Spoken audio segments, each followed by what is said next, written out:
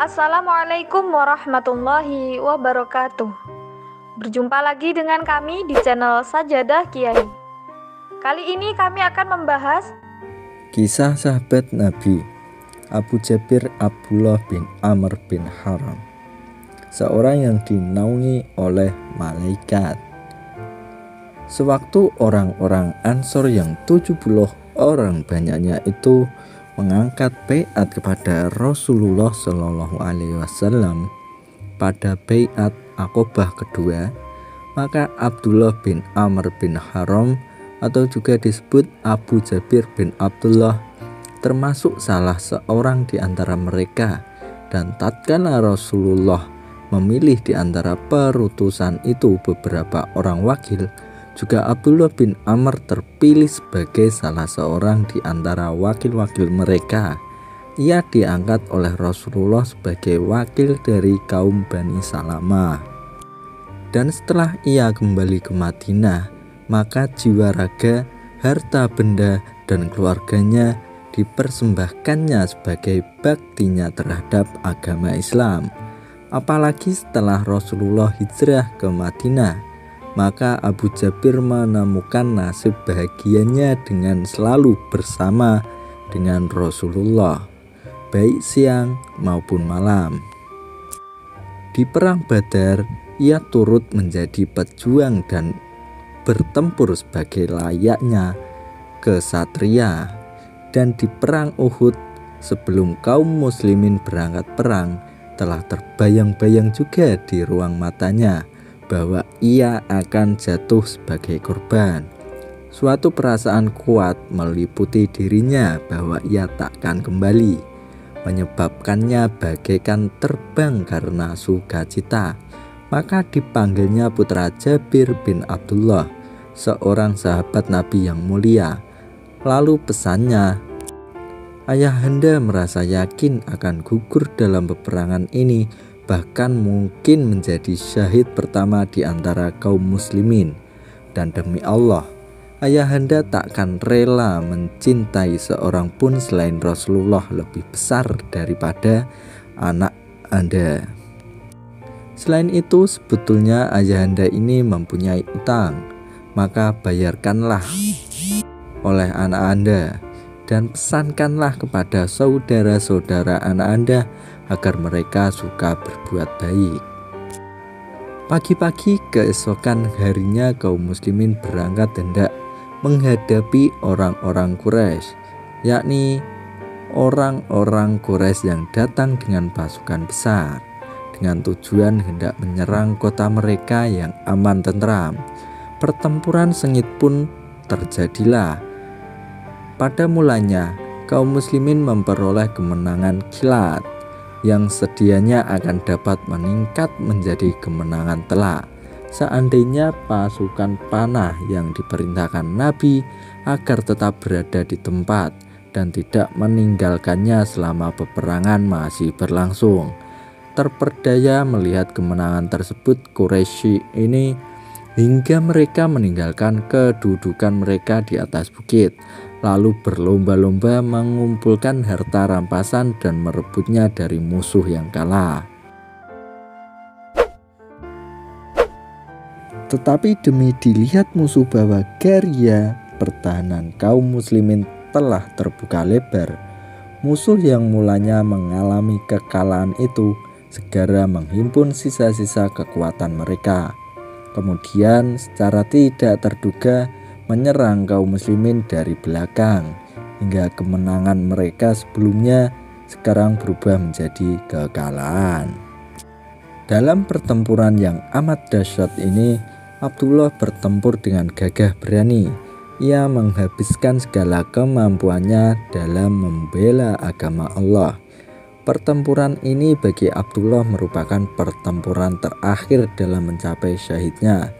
Tatkala perang telah usai dan kaum muslimin meninjau para syuhada, Jabir bin Abdullah pergi mencari ayahnya hingga ditemukannya di antara para syuhada itu.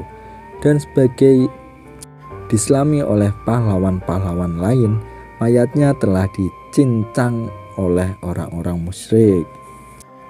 Jabir dan sebagian keluarganya berdiri menangisi syahid Islam Abdullah bin Amr bin Haram. Dan sementara mereka menangisinya itu lewatlah Rasulullah Shallallahu Alaihi Wasallam.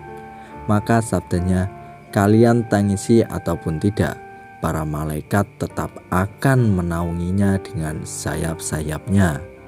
Keimanan Abu Jabir merupakan keimanan yang teguh dan cemerlang kecintaannya bahkan kegemarannya terhadap mati di jalan Allah adalah puncak keinginan dan cita-citanya. Setelah Abu Jabir wafat, Rasulullah SAW pernah menceritakan suatu berita penting yang melukiskan kegemaran Abu Jabir untuk mati syahid ini. Kata Rasulullah pada suatu hari kepada putranya bernama Jabir, "Hei Jabir, tidak seorang pun yang dibawa berbicara oleh Allah kecuali dari balik tabir, tapi Allah telah berbicara secara langsung dengan bapakmu. Firmannya kepadanya, Hai hambaku, mintalah kepadaku, pasti ku beri. Maka ujarnya, Ya Tuhanku, kumohon kepadamu agar aku dikembalikan ke dunia, agar aku dapat mati syahid sekali lagi firman Allah padanya telah terdahulu ketentuan daripadaku bahwa mereka tidak akan dikembalikan lagi. Kalau begitu, oh Tuhan, mohon sampaikan kepada orang-orang di belakangku nikmat karunia yang Engkau limpahkan kepada kami. Hadis Qudsi Matra Allah Ta'ala pun menurunkan ayat dan janganlah kalian mengira bahwa orang-orang yang gugur di jalan Allah itu mati, tetapi sesungguhnya mereka itu hidup dan diberi rizki di sisi Tuhan mereka.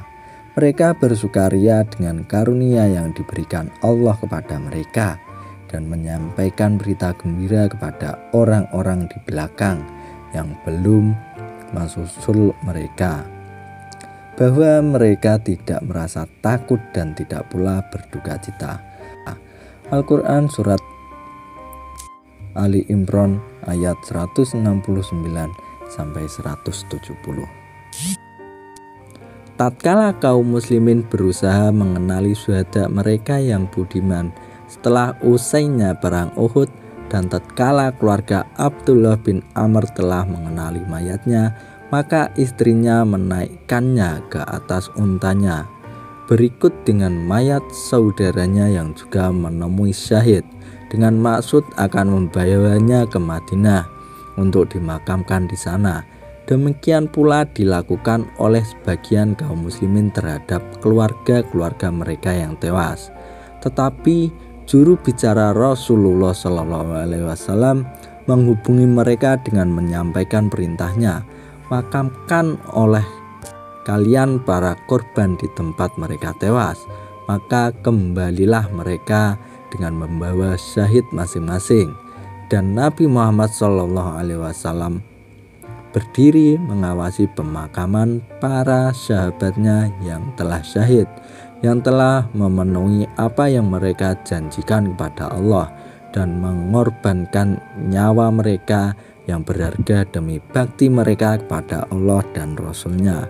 Dan tatkala datanglah giliran pemakaman Abdullah bin Haram, Rasulullah pun menyerukan, kuburkan Abdullah bin Amir Ibnu Jarrah di satu liang. Selagi di dunia mereka adalah dua orang sahabat yang saling sayang menyayangi. Dan sekarang sementara orang menyiapkan makam keramat untuk menyambut kedua syuhada yang mulia itu. Marilah kita layangkan pandangan kepada syahid yang keduanya yaitu Amr Ibnul Jarrah. Wallahu alam bisawab. Terima kasih telah menonton video kami.